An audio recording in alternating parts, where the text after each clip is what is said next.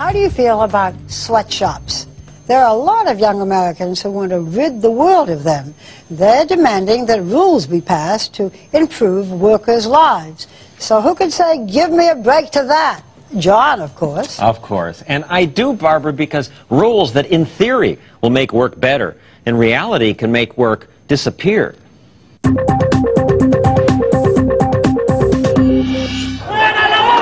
Last month, there were big protests in Cancun, Mexico during the meeting of the World Trade Organization. They always protest, wherever this meeting is held. And the protests are being supported by increasing numbers of American students who say workers are being mistreated. Sweatshops are what they object to most. Factories like this one in Bangladesh, where adolescent girls make sweaters and are paid a fraction of American wages. The protesters seem to be winning the battle of public opinion.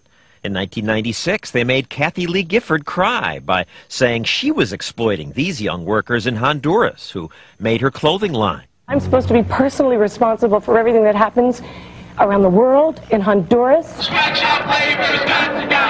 Yes, say protesters like these. Within weeks, Kathie Lee was admitting the error of her ways. She joined President Clinton at the White House as she renounced the mistakes of her past. That was one blouse and one pant too many. Union shop, not sweatshop! Union shop! The student groups who protest get some funding from labor unions. The Steelworkers Union lets one group use part of their offices in Washington, D.C. Maybe that's why the protesting students are also upset about wages in America. This group once took over the office of Harvard's president and held it for three weeks, demanding higher wages for workers at the school. Their supporters camped outside, and even big-time actors, Matt Damon and Ben Affleck, showed up to give their support. Senator Ted Kennedy came out and shook the students' hands. One of the leaders of this protest was Ben McKean. He assembled this group of student leaders to tell us what they're upset about. The workers themselves have come to us and said, you benefit from our exploitation, give us back something. And if we can tell the corporations that we don't want to buy products that are being made by people that they're able to exploit, then we can really help to end some of the serious problems affecting these people's lives. Oh, that sounds very nice, except when we talk to some people who live in the places where the workers are supposedly being exploited in sweatshops, we heard a different story. I wish these people would begin to think with their brains rather than with their hearts. Vivek Debroy is an economist who lives in India. We interviewed him and these other supporters of globalization as they were on their way to Cancun. I don't understand the expression sweatshops. There's nothing wrong with sweat. Sweat is good. Sweat is what most people in the developing world, including India, do all the time. People get jobs in these places. Their, their generation lives better than their parents lived. June Arunga studies trade policy. She lives in Kenya. Doesn't the United States have the responsibility to stop these companies from exploiting people in your country? Exploiting people? Nobody in my country thinks about companies exploiting them. When there's a new company opening a factory, people are excited about it. Arunga and Debroy point out that in poor countries, the Nike factories that well-fed American students call sweatshops routinely pay twice what local factories pay and more than triple what people earn doing much harder and more dangerous work in the fields. I wish we would have more sweatshops, quote unquote, in my country. Most economists say what many Americans call sweatshops are what allowed people in now thriving places like South Korea, Taiwan, and Hong Kong to pull themselves out of poverty.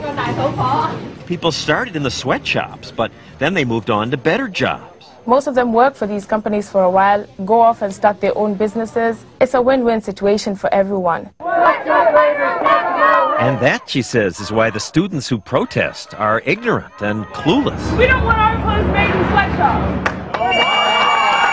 They have no idea what they're talking about. End sweatshops right away. They're comparing that to what they have in their rich homes. They called people like you ignorant and clueless. rich, ignorant, and clueless. The image that we have is being rich and clueless and, and just idealist college students is a false one. Do I have a vision of how I want the world to, to be? Sure, of course I do. I want the world to be one where people don't have to struggle to feed their children. The workers are forced to migrate into the city or into places where factories like these exist. Who's forcing them? They travel to the factory. They choose to work there. Well, I mean, you would prefer eating to not eating. Sure, but if you insist on higher wages, some of these factories will close. You're going to put people out of work. We're not trying to close down sweatshops. We're trying to Yes, change you are. sweatshops. I mean, you say you're not, but that's the result of your protest. Some places will close. They'll go where the wages are lower. the goal is to raise the wages across the board. The protesters say that they don't want to take away the jobs. They just want to make them better. By passing laws trying to improve the jobs by force, they will get rid of the jobs. After the protests against Kathie Lee's clothing line, Walmart withdrew its Kathie Lee contract from a New York factory, taking work away from these workers. American complaints about child labor persuaded factories in Bangladesh to stop hiring adolescents. The result, according to UNICEF, is that many of the young girls turned to prostitution instead. These protests help poor people? Give me a break.